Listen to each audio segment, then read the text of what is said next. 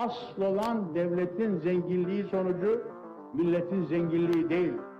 Milletin zenginliği sonucu devletin zengin olmasıdır.